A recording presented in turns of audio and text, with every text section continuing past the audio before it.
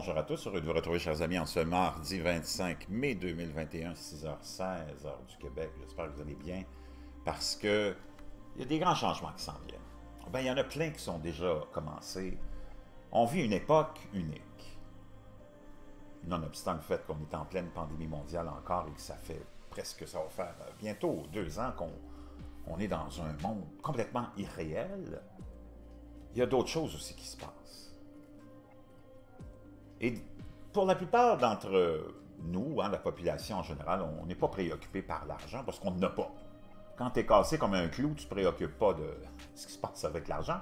Mais pourtant, même si on est cassé comme des clous, comme on dit par chez nous, on n'arrête pas de s'appauvrir encore plus. Le peu que tu as, il continue à disparaître et à fondre comme neige au soleil. Ça devrait nous préoccuper, mais l'ensemble de la population mondiale, hein, le troupeau de moutons, s'occupe pas de ses affaires. C'est pour ça que c'est un désastre pour tout le monde, parce qu'on a abandonné nos responsabilités en tant qu'être humain, en tant que citoyen, en tant que parent, en tant que payeur de taxes, en tant qu'électeur. On veut pas se casser la tête, on veut pas de problème les politiciens s'occupent de nos affaires avec plaisir, parce que ça leur donne beaucoup de pouvoir. Tout politicien n'a qu'un seul but, c'est d'avoir toujours plus de pouvoir. Et d'avoir devant lui une population indifférente à tout, ça le rend vraiment, vraiment heureux. Parce qu'il voit les opportunités de prendre encore plus de pans, plus de secteurs de nos vies sous sa responsabilité, parce que nous, on n'en veut pas. On veut juste chialer, chialer, mais on veut rien faire. On veut surtout pas aller s'occuper de nos responsabilités civiles. On veut pas s'impliquer. On veut pas s'occuper de quoi que ce soit.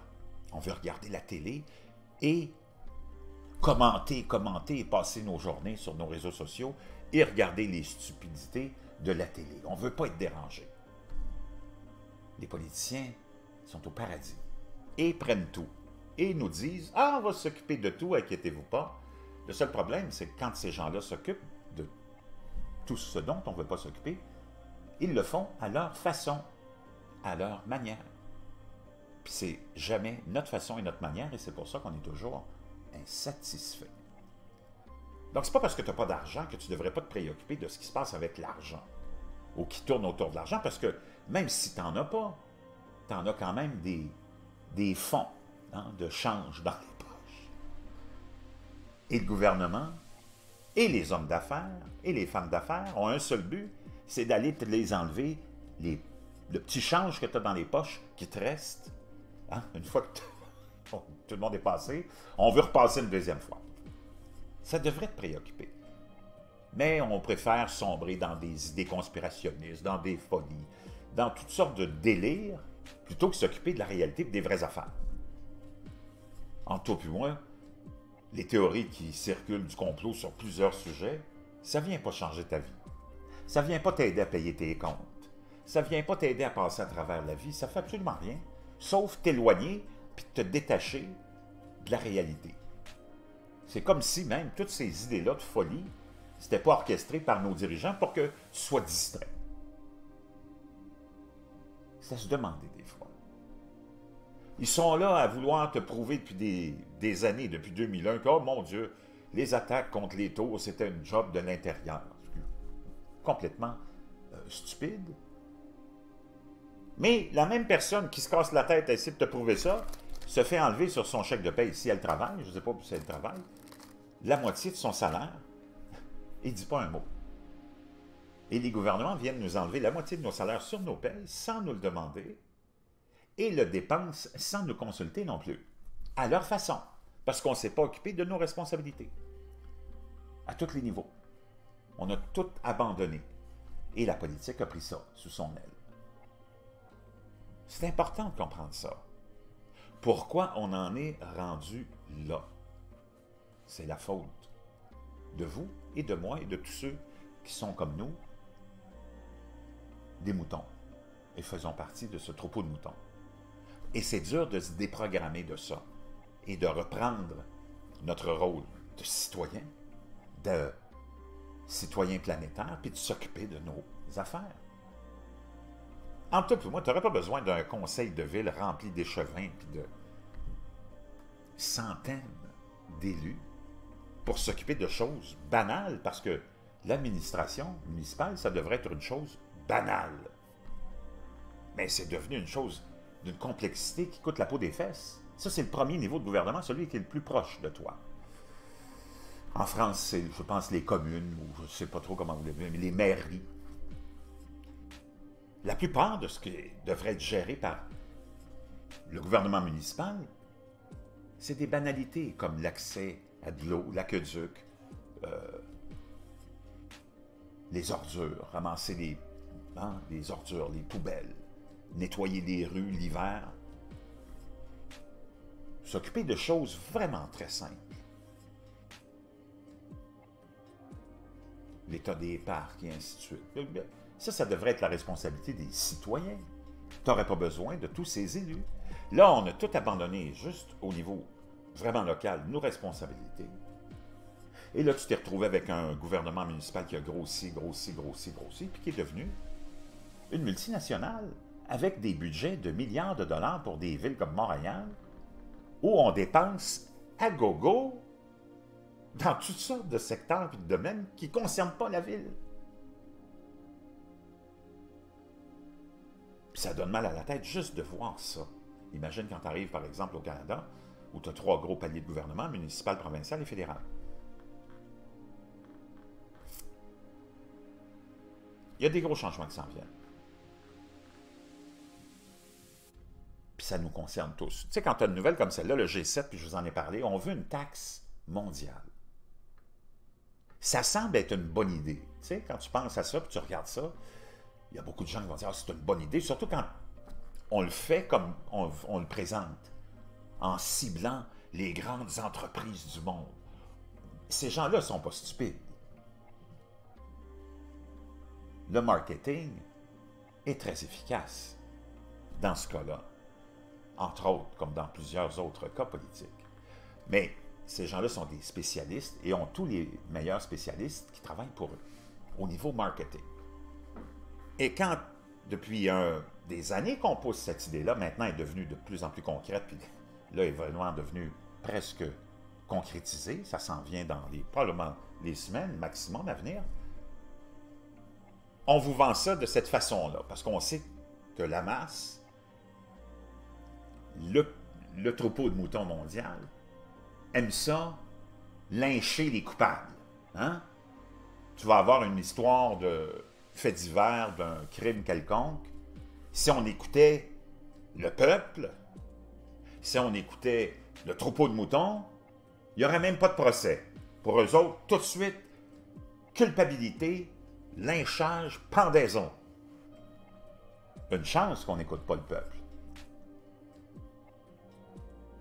Une chance que dans les pays dans lesquels on vit, nous autres, on n'est pas une chance aussi, hein, dans d'autres, comme dans d'autres pays où il n'y a pas vraiment de droit et de loi. Il y a un processus à suivre. Mais si je reviens à le processus judiciaire qui va faire en sorte que tu es innocent jusqu'à preuve du contraire.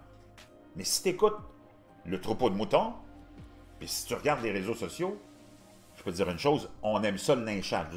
Le troupeau de moutons, il n'y a pas de patience. Il n'en veut pas de procès. Coupable, déjà, même si tu n'as aucun fait qui a été présenté. C'est comme ça que ça, fonctionne, une foule. Les autres, ils savent très bien comment fonctionne la foule comment fonctionne la nature humaine. C'est important que tu comprennes ça. Quand il te présente ça comme ça, le G7 est proche d'un accord sur la fiscalité des plus grandes entreprises du monde. Là, tu vas avoir le troupeau de moutons qui dit Oh, ouais, enfin, ils vont taxer les maudites grosses entreprises des riches. J'aimerais vous rappeler que les grandes entreprises et les, riches sont dans la catégorie de gens qui ne payent jamais d'impôts peu importe que tu fasses des réformes de fiscalité ou non. Et même quand sur leur papier, hein, en réalité, on montre qu'ils ont payé de l'impôt ou des taxes ou whatever, ils n'en payent pas.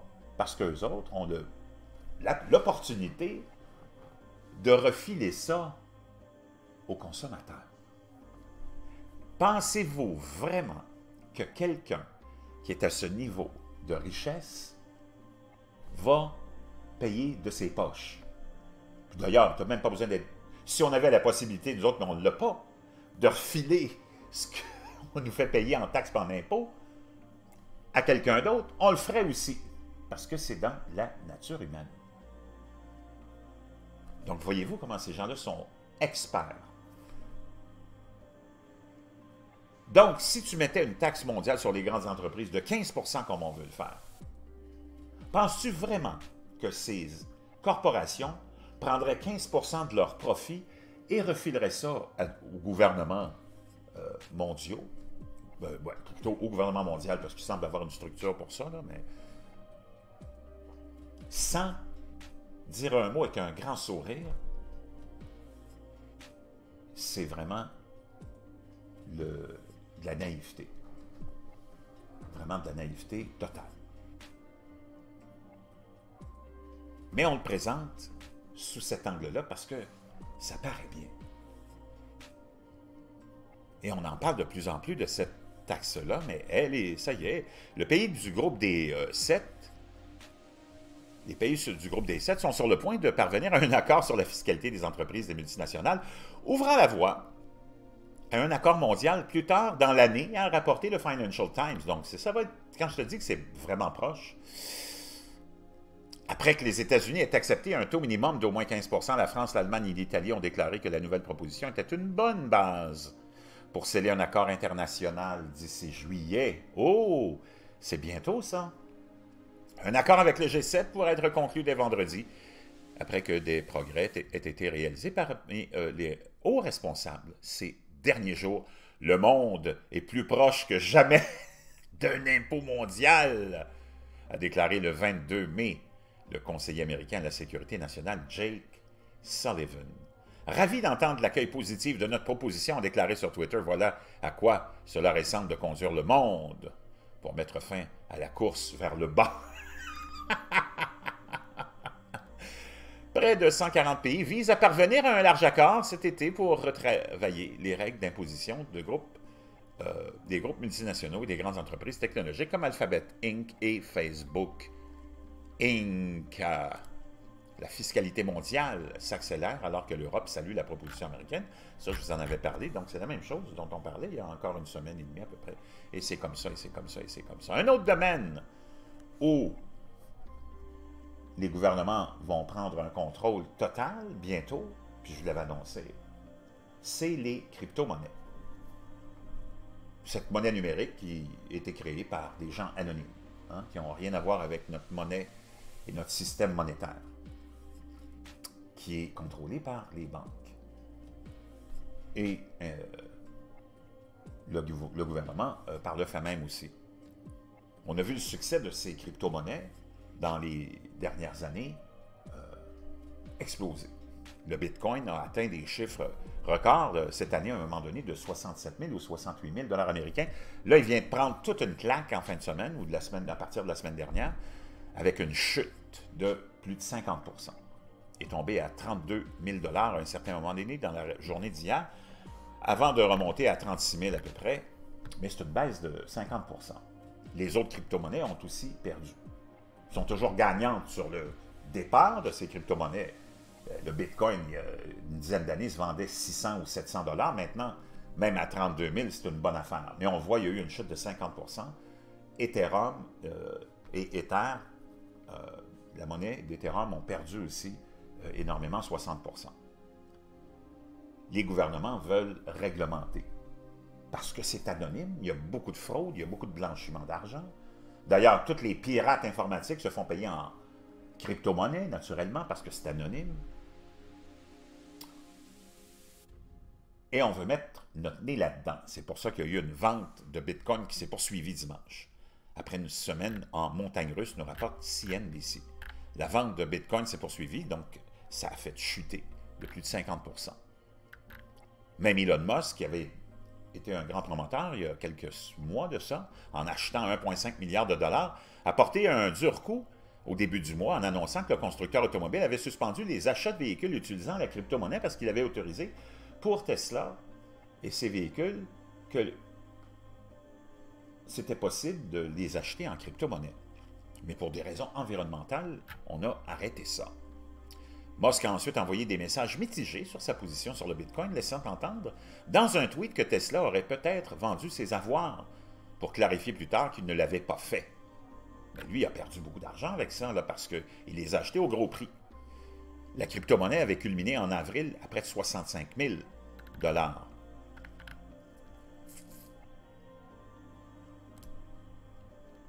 Donc, c'est euh, toute une histoire euh, que ça, qui, ce qui se passe avec ça ici en ce moment.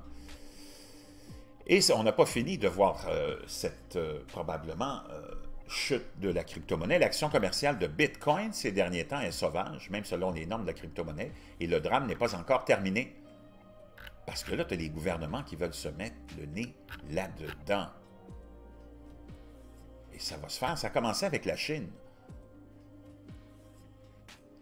Et les récentes fluctuations sont survenues dans un contexte de surveillance réglementaire accrue aux États-Unis et à l'étranger. La Réserve fédérale américaine publiera bientôt un document décrivant ses propres recherches sur le domaine de la monnaie numérique de la Banque centrale. Pendant ce temps, les autorités chinoises se sont engagées à sévir contre l'extraction et le commerce de la crypto-monnaie. Donc, ça va être quelque chose à suivre. Donc, il y a beaucoup, beaucoup de choses qui vont nous concerner indirectement, mais dont le monde se fout carrément. Et c'est pour ça que nos vies vont devenir de plus en plus réglementées parce qu'on ne veut rien savoir. On est plus préoccupé à promouvoir des idées tellement farfelues que de s'occuper de la réalité qui est devant nos yeux, puis dans nos poches, l'argent, notre argent. Puis on a l'impression, puis on a donné l'impression que comme tu n'en as pas, tu ne devrais même pas te préoccuper de l'argent. Mais pourtant, l'argent, c'est ça qui gère ta vie, puis qui mène ta vie, puis qui sert à ce que tu puisses fonctionner dans cette vie-là, que tu le veuilles ou non. Tu ne peux pas t'en sortir de l'argent. Même si tu n'en as pas beaucoup, on vient t'en chercher. Beaucoup, ça devrait te concerner. Tu devrais être plus obsédé par ça. Mais les gens ne le sont pas. C'est fascinant. Je vous reviens.